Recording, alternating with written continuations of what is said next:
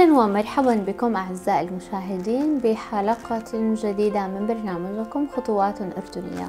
رحبوا معي بأخصائية التربية الخاصة ينال نعامنة بداية نسعد مساكي ومساكي يا رب. كلك ذوق في بداية تعرفيني وتعرفي السادة المشاهدين بنبذة بسيطة عن حالك. آه اسمي ينال نعامنة تخصصي تربية خاصة. آه حاليا أنا بكمل ماستر على نفس تخصصي بمجال تخصصي أنا اشتغلت ودورت بأكثر من مركز أخذت نظرة شاملة عن. عن موضوعي اللي بدي أشتغل فيه أو اللي بدي أركز هدفي عليه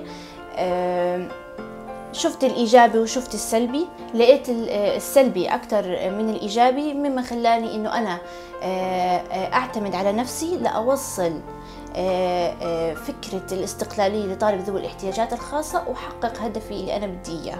نعم بالتوفيق. شو هي أهم الخدمات اللي أنت عم تقدميها عندك؟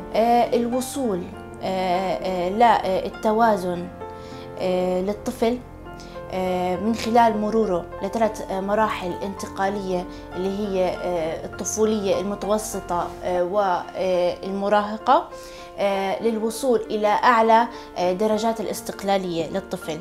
طبعا بطريقة ممنهجة ومدروسة بطريقة صحيحة. نعم بس أصلا شو هي المشاكل والمعوقات اللي أنت عم بتواجهها بمجالك؟ طيب خلينا نحكي بالقديم وبمشروع الجديد. تمام؟ هلأ بالقديم ما أصحاب المراكز ما بعطوا حق الأخصائي التربية الخاصة بتوصيل رسالته بشكل صحيح وإيجابي كما يجب لطالب ذوي الاحتياجات الخاصة. نعم. هي أول شغلة.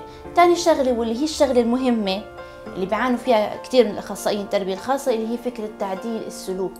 إنها لازم تكون بشكل صحيح وكما يجب. أما طبعا بمشروع الجديد اللي هي فكرة التعاون الأهل مع أخصائي التربية الخاصة. هلأ إحنا كيف بدنا نوصل الطفل للاستقلالية؟ في حال الأهل ما تعاونوا مع أخصائي التربية الخاصة.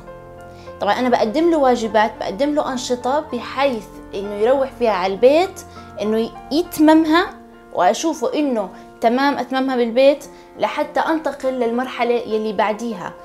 إنه ننجز مرحلة بمرحلة لنوصله لأفضل مستوى. ننتقل إلى الجانب الوطني. لو قدر لك والتقيتي بصاحب الجلالة ماذا ستقول له؟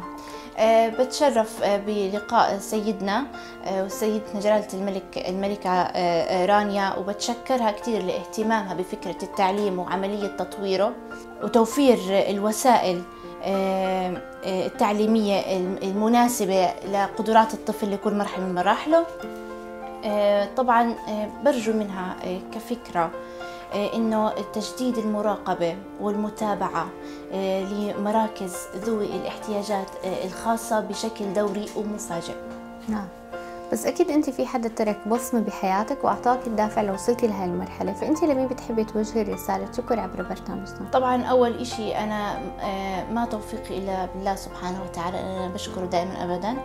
طبعا أنا بشكر بابا بدعمه إلي ووصولي لهي المرحلة ودعوات يعني ماما بالأكيد. وإخواني وغير هيك أنا كمان بشكر كثير اللي اللي دعم فكرتي وساعدني أنا وفريق عملي لتوصيل وتحقيق هدفنا بطريقة صحيحة. طلاب ذوي الاحتياجات الخاصة اللي هو صاحب روضة توائم تاليا الدكتور أيمن مسعدة.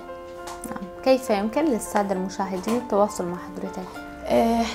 من خلال العنوان اللي هو إربد ايدون روضة توائم تاليا شكرا لك حبيبتي. وفي نهاية هذا اللقاء أعزائي المشاهدين نود أن نشكر أخصائية التربية الخاصة ينال على حسن استضافتها لنا وعلى أمل اللقاء بكم مجددا. نورت شاشتنا شكرا لك حبيبتي.